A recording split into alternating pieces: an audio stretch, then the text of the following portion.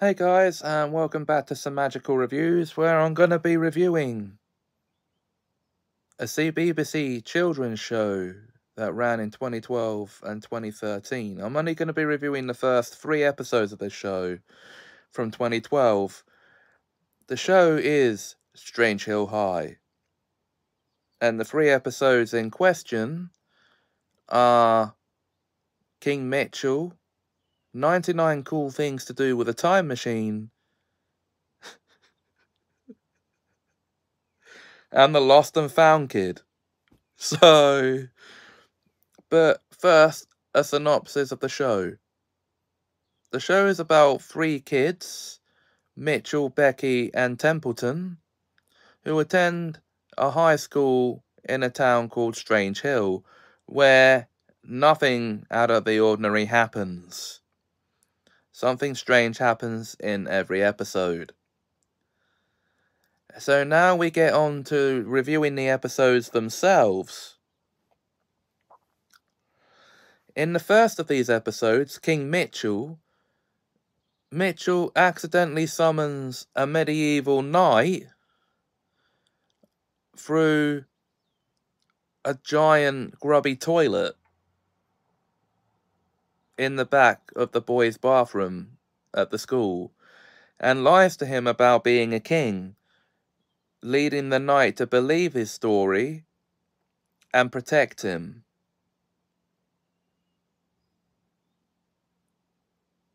And this gets him out of all kinds of. Well, this gets him out of trouble with the school, but into other kinds of trouble Wow. so okay, um, and yes, it's the um, exit exam week has started at Strange Hill High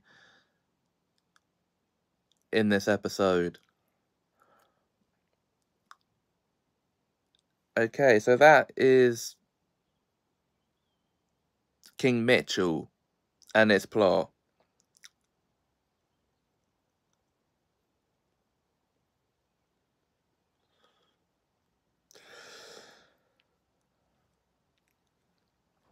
In 99 Cool Things to Do with a Time Machine,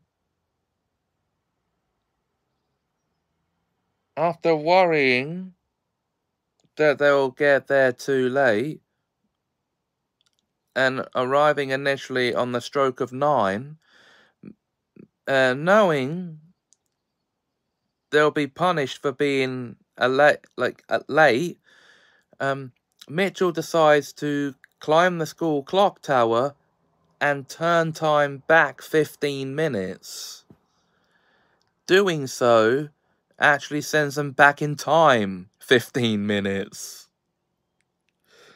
So upon realizing the clock tower outside the school, like the school clock is a time machine, they start messing with time.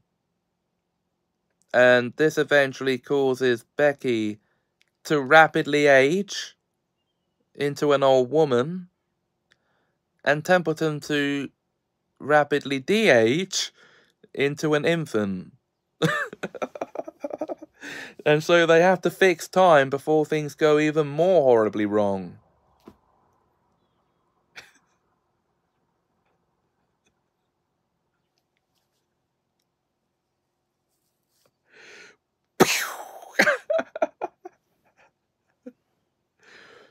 And finally, in The Lost and Found Kid, things start to go missing around Strange Hill, uh, Strange Hill High, and Mitchell is the one being accused of theft until they actually go into the school lost and found room to find all the missing items were in fact stolen, but by the lost and found kid, who has been there for over a hundred years after perceivedly being abandoned by his dad.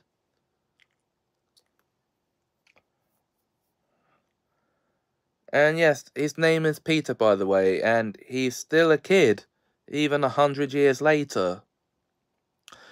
Which brings into the question of how old he actually is.